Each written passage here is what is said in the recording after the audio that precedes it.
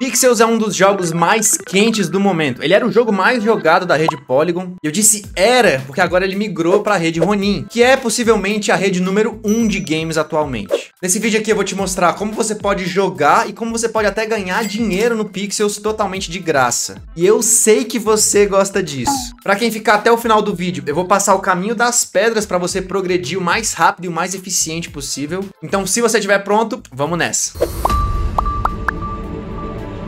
Queridos, eu não vou nesse vídeo te explicar do que se trata o Pixels. Eu já fiz um videozinho bem introdutório sobre esse jogo. Quem quiser dar uma olhada ou se você ainda não conhece esse game, o link vai estar tá aqui para vocês na descrição. Aliás, esse vídeo vai estar tá recheado de links úteis para vocês, então vai estar tá tudo aqui embaixo, beleza? Bom, em resumo, o Pixels é um MMO no estilo fazendinha, que roda tanto no seu PC quanto no seu celular via navegador. E aí você vai crescendo, você vai progredindo na sua fazendinha e você vai recebendo tokens, que você pode eventualmente vender por dinheiro real. A jogabilidade jogabilidade é deliciosa, a economia do game tá muito maneira, o game tem aí cerca de 5 mil usuários ativos todo santo dia, um potencial de ter ainda bem mais, né, já que o jogo tá tão quente ultimamente. Para jogar é muito prático, você nem precisa configurar uma wallet aqui se você não quiser. O jogo roda pelo site, que é o pixels.xyz, você acessa aí pelo navegador do seu celular ou do seu computador. E é só você clicar no site no botão Play for Free e aí você vai criar sua conta, seja utilizando o e-mail, seja utilizando o seu celular, seja utilizando uma carteira digital. Inclusive pode ser a Ronin Wallet, se você já tiver uma. O jogo inicia num tutorial básico que eu também já expliquei para vocês no outro vídeo, mas assim que você completar a primeira missão com o Ranger Dale, você pode subir aqui um pouquinho mais para cima e visitar o Infini Portal, né, que é um portal que te permite viajar para qualquer uma das lands do jogo. E a land que você vai é a 4434. Essa é a land de um criador de conteúdo, né, que é o Rohan. A land dele é muito boa, você vai encontrar praticamente tudo que você precisa nela. Então, cada uma das lands do jogo tem um número, né? São 5 mil lands no total. Pode ser que façam mais no futuro. E você vai perceber que o terreno aqui é roxo, né? É porque essa é uma land espacial. Esse é o tipo mais raro e o tipo mais valioso das lands, né? E aí eu recomendo que você marque essa land como uma das suas favoritas. Para fazer isso, é só clicar nesse botão aqui e depois nessa aba aqui você adiciona essa land como uma das suas favoritas. Se você é free to play, você pode pode ter até três lands salvas aqui no seu sua agendinha, sei lá o nome disso. Se você quiser achar outras lands boas, tem esse site aqui também que você pode buscar pelas melhores lands. E aqui do lado de fora do Ranger Dale, você também pode ir nessa placa aqui que vai te mostrar quais são as top lands do momento. Ou ainda se você for andando aqui pela cidade para qualquer um dos lados, eventualmente ele vai te jogar numa land aleatória aí, com uma land qualquer do jogo. No vídeo inicial que eu fiz do Pixels, eu falo um pouquinho mais para vocês sobre os tipos de lands, então eu vou te poupar dessa aula aqui nesse vídeo.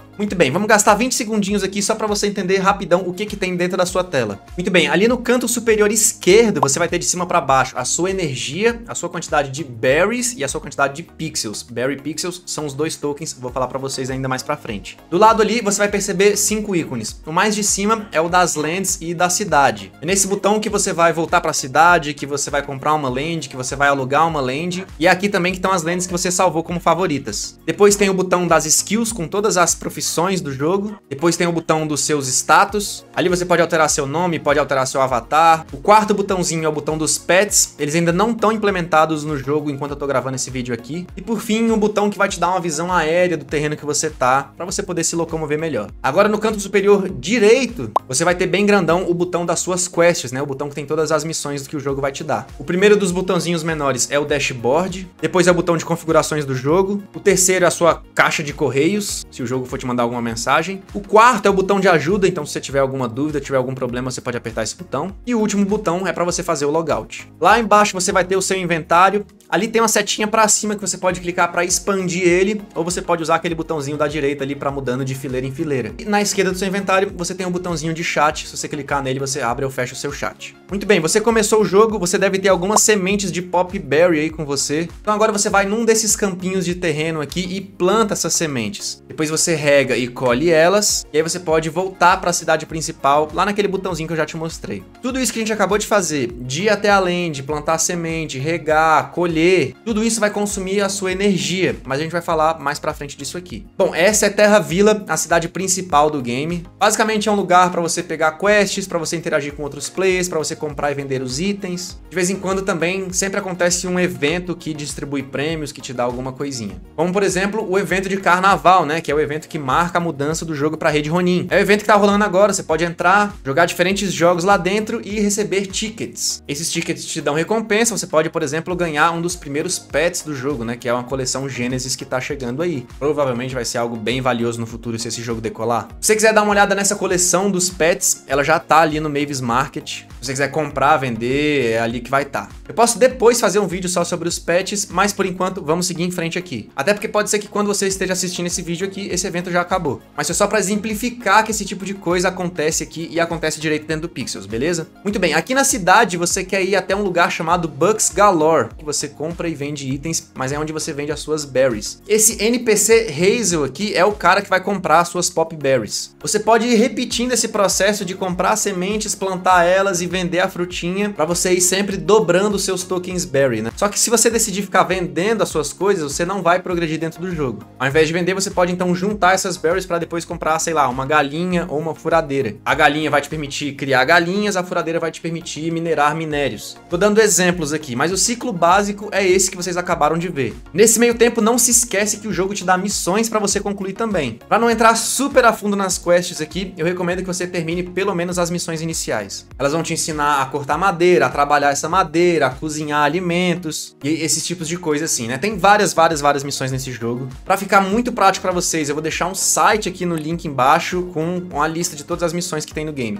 E aí acho que isso vai facilitar bastante para vocês. Mas vamos falar então um pouquinho aqui sobre as lands. Qualquer pode ter uma land aqui de certa forma. Por 100 berries, que é um negócio que você acumula praticamente aí na primeira hora do jogo, você consegue comprar um projeto de land, né? Uma landzinha chamada Spec. Essa land é praticamente grátis e ela não tem muita funcionalidade assim. Você até pode plantar alguma coisinha nela, mas a land dos outros caras são muito melhores e você pode usar elas, né? Mas se você quiser ter uma dessas lands reais do jogo, elas estão à venda, elas são NFTs, você pode encontrar elas até o momento no OpenSea. Lembrando que elas estão em processo para migrar para o Mavis Market, né? Inclusive lá pode ser que o preço dela mude. Se você não quiser comprar uma land, você ainda tem a opção de alugar um terreno. E vale a pena você considerar isso se você estiver jogando o jogo. Você vai ter rendimentos menores do que se você fosse o dono da land, até porque você precisa ficar pagando o aluguel para ele. Mas ainda assim, você tá jogando o game, você tá cuidando de um terreno que é seu, você pode decorar esse terreno. E você vai ter uma série de bônus, né? Como um inventário expandido, um slot extra para marcar nas suas lands favoritas, acesso a recursos especiais do jogo e ainda ganha 1% de tudo que for farmado na sua land pelos outros jogadores. Além de outros benefícios, né? Mas existe tanto o aluguel in-game, quanto tem a possibilidade também de você pegar uma land emprestada na Loot Rush. Aqui, pelo menos até o dia que eu tô gravando esse vídeo aqui, você tem 125 dólares de graça para começar lá. Lá tem bilhões de NFTs, inclusive as lentes do Pixel, inclusive lentes espaciais tem lá também. Eu tenho tudo explicadinho para vocês num vídeo, vou deixar o link aqui embaixo na descrição para vocês também. Vou deixar para vocês no primeiro comentário fixado também o link para você se cadastrar no Loot Rush e já chegar ganhando 5 dólares direto na sua wallet. Cria sua conta, pega um item emprestado, devolve o NFT direitinho, você recebe esses 5 dólares. Mas uma coisa importante sobre as lentes, no fim das contas, você não precisa comprar, você não precisa alugar de uma lente aqui nesse jogo. Você sempre vai poder usar o terreno de outra pessoa sem problema nenhum. E fica tranquilo, você pode deixar suas coisas no terreno dos outros, pode largar suas galinhas, pode largar suas abelhas aí numa lente qualquer. Ninguém vai poder mexer no que é seu. Simplesmente você precisa lembrar onde é que você tá deixando as suas paradas. Lembra que você pode salvar três terrenos como favoritos, né? Se você precisar de mais, eventualmente você pode, sei lá, anotar num papel.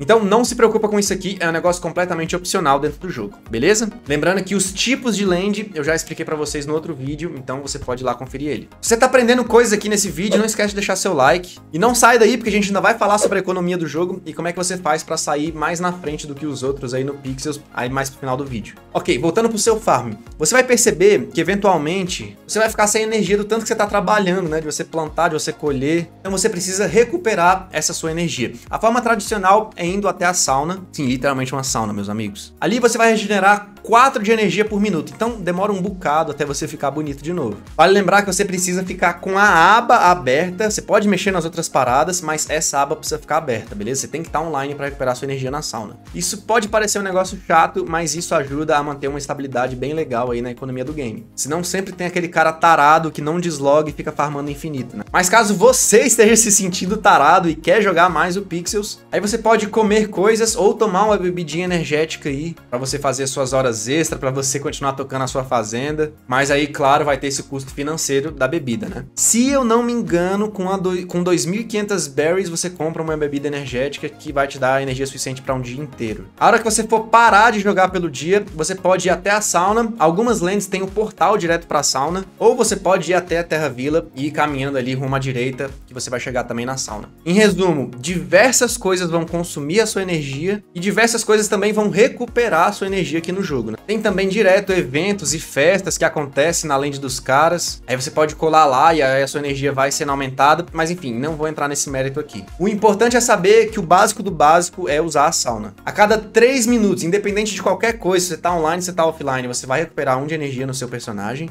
E aí na sauna, como eu falei, você vai recuperar 4 de energia por minuto, com um máximo de 240 energia por dia. Então depois que você recuperar 240 de energia na sauna, não adianta mais, pode sair. Beleza, vamos falar então agora do sistema econômico desse jogo para vocês entenderem onde é que tá a graça aqui do Pixels. Existem aqui dois tokens no Pixels, né, como se fossem dois, duas moedas. A Berry é aquela lá que você já recebeu vendendo as suas frutinhas no Hazel, ou vendendo para outros jogadores também, porque a partir do nível 5 você consegue acessar o mercado aberto do jogo. E se você for jogar a sério, é um negócio que vale a pena você entender um pouquinho como é que funciona. Você ir acompanhando o preço das coisas, né, para você não moscar, saber melhor quando é que é uma boa hora de vender, quando é que é uma boa hora de comprar. Você conseguir precificar as coisas, né, para você vender caro e comprar barato, maximizando aí os seus lucros no jogo. Bom, o Token Berry é o token utilitário, é o token que você vai usar para fazer coisas dentro do game. É como uma moedinha normal de qualquer outro jogo, né? Você vai usar, você vai gastar ela para você ir progredindo. Você vai comprar ferramenta, você vai comprar bebida energética, você vai comprar aquela lendezinha. O lance aqui é que existe uma infinidade infinidade de coisas dentro do jogo. Então existe o minério de ferro, existe a barra de ferro, existe alguma coisa que foi feita com esse ferro. Você pode ir até a mina, pegar o ferro, transformar ele numa barra de ferro, ou você pode, sei lá, comprar a barra de ferro de outro jogador pronta já direto. Então, às vezes, você vai entender que pegar o ferro e transformar ele na barrinha de ferro é um negócio legal, as pessoas estão pagando bem e você vale a pena você fazer isso para vender. Ou então você vai entender que vale a pena você comprar a barra de ferro de outro jogador para você fazer uma picareta de ferro e aí sim você vende a picareta de ferro. O que eu quero dizer é, existem infinitas possibilidades que você pode fazer aqui dentro, economicamente falando. Eu não acho que esse token Berry seja um token muito bom para você querer ficar especulando em cima. A gente ainda precisa esperar mais tempo para terminar de rolar essa integração com a Ronin pra gente ver exatamente em qual preço que esse token vai basicamente parar. A gente entender qual vai ser o preço real desse token, né? Bom, o token principal do game é o token Pixel. Esse é como se fosse a gema, né, nos jogos normais aí. Uma moeda mais difícil de você ter e por isso uma moeda mais valiosa também. Você vai usar o Pixel para se acelerar no jogo, para fazer coisas mais rápido ou para comprar status sociais, né, tipo itens cosméticos, itens decorativos para sua land ou skins para seu personagem. Com o Pixel eu também posso comprar novas lands, eu posso desbloquear desbloquear novos recursos. Enfim, vai funcionar também para quase tudo dentro do game. Vão ser 100 mil tokens pixel distribuído por dia para os jogadores que estão ali ativos, né? Que estão jogando o jogo massa, que estão fazendo as coisas, contribuindo para o game. Então, basicamente, o jogador compra itens e outras coisas premium usando esse token pixel e boa parte disso vai ser queimado.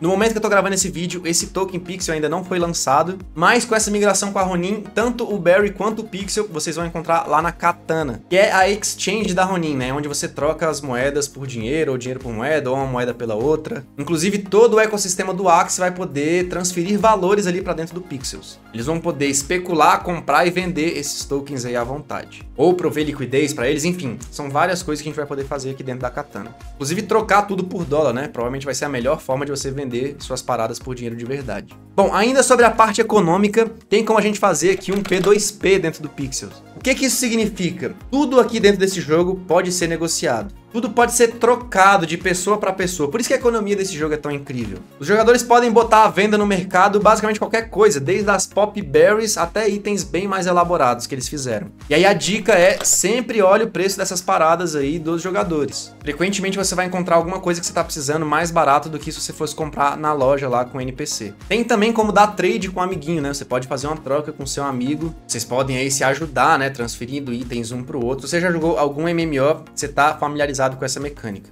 você nunca jogou nenhum jogo nesse gênero de fazendinha, eu acho que esse daqui é um jogo que pode te surpreender. A gente vê pelo sucesso que foi, por exemplo, Stardew Valley, que seria um jogo aí numa pegada similar, mas esse daqui ainda é até mais legal porque tem várias pessoas fazendo tudo ao mesmo tempo, essa economia super vívida, né, entre os players. Agora, se você não gosta desse tipo de jogo de fazendinha, eu diria que esse jogo aqui não é para você. Agora, se você gosta, você com certeza vai se divertir bastante aqui dentro. O que é extremamente promissor do Pixels é que o foco dele vai ser o conteúdo gerado pelos usuários. Você vai poder usar suas berries para criar novas coisas dentro do jogo. Você tem a sua land, você pode, sei lá, criar um prédio, fazer um zoológico, sei lá, o que você quiser. E é tudo ali dentro negociável, né? Se você criar alguma coisa maneira, as pessoas vão desejar aquilo. Isso é uma outra forma de aquecer a economia do game. Por enquanto, é um jogo de fazendinha, que é maneiro, que é online. Seus amigos podem ir na sua land, vocês podem jogar juntos, vocês podem fazer uma festinha. Tem enrolado várias festinhas no jogo, né? E o pessoal tá fazendo bastante amigo ali dentro. Vivenciando esse lado social dos MMOs, né? Interagindo com as pessoas ali dentro. Então o jogo ele é bem mais genial do que ele parece na primeira impressão. A ideia de progressão do jogo é muito interessante.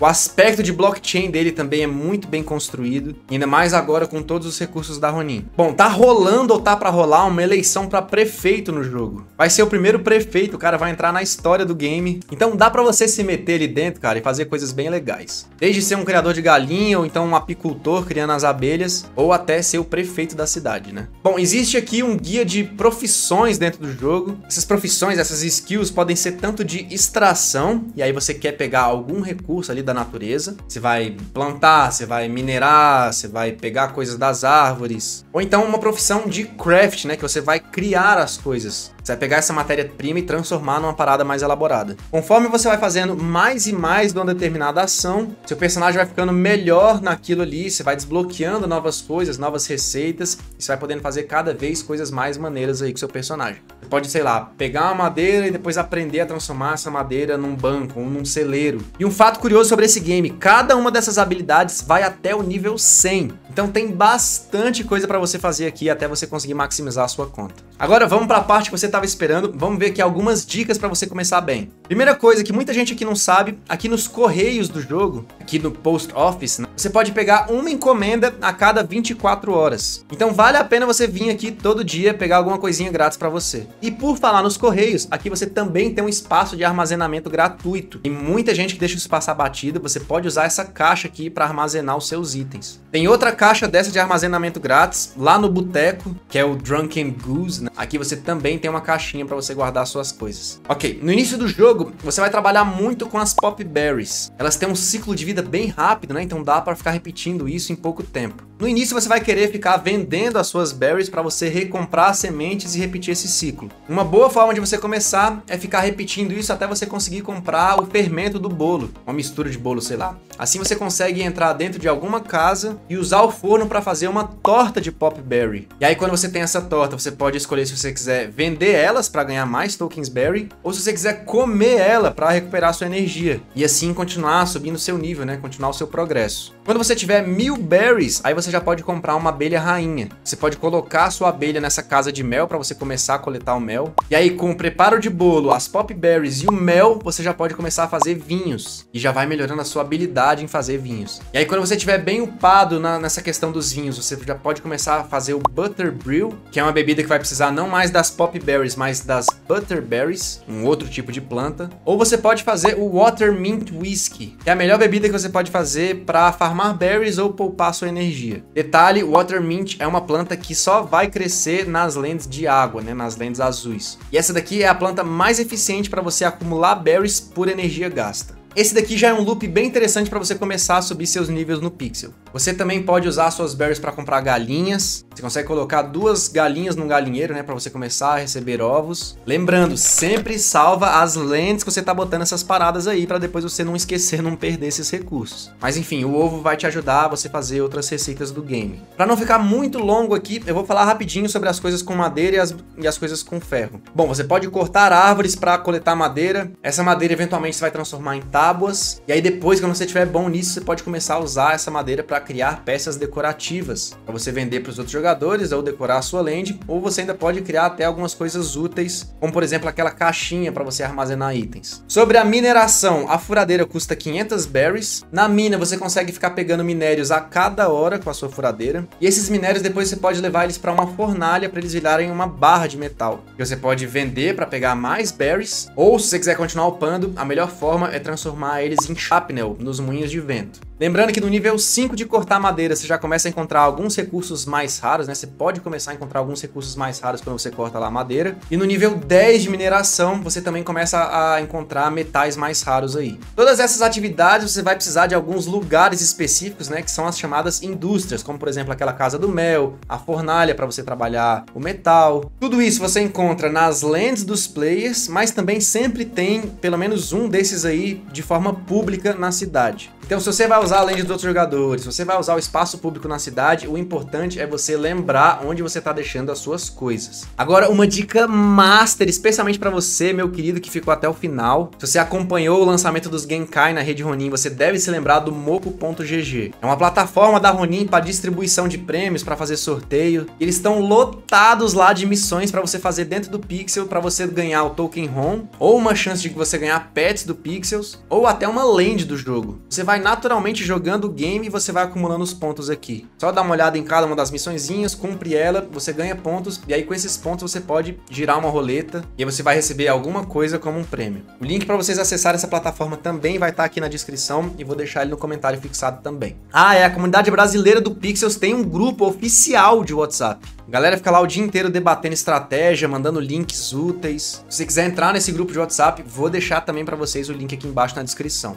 E se alguma coisa der ruim com esse link, vocês podem mandar uma DM aí no Instagram ou na rede que vocês quiserem, beleza? Com essas dicas aqui desse vídeo, eu acho que você já vai estar muito bem para começar no Pixels. Lembrem lá do site com as quests que eu deixei para vocês, acho que isso pode ser bem útil. Eu acho que isso vai ajudar a guiar bastante a gameplay de vocês. Também esse finalzinho do vídeo, né, que eu expliquei sobre cada função, algumas, algumas dicas sobre onde começar, o que fazer, você pode reassistir isso também. Acho que é um caminho bem bom para você começar. Não esqueça de fazer amigos, né, durante a sua gameplay, já que é um jogo bem social, né? Participa dos eventos, participa das festas, e assim você vai se divertir mais, você vai ganhar bônus, vai ganhar coisas extras. E cara, se divertir no processo eu acho extremamente importante. No mais, eu te agradeço muito por ficar comigo até o final desse vídeo. Ficaria muito grato se você pudesse deixar o seu like. Fica à vontade para deixar nos comentários também as suas dúvidas, e se eu posso responder elas, ou quem sabe até fazer novos vídeos. Não esquece de compartilhar esse vídeo com a galerinha que vai jogar Pixels com você. E eu te desejo sempre muita saúde e até a próxima.